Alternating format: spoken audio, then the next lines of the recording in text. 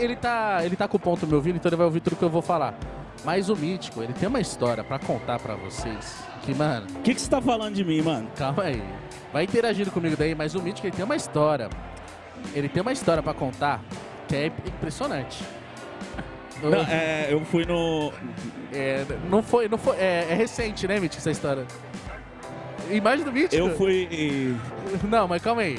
Isso aí você depois conta, você vai ter que contar comigo Eu fui aqui. no swing! Mítico!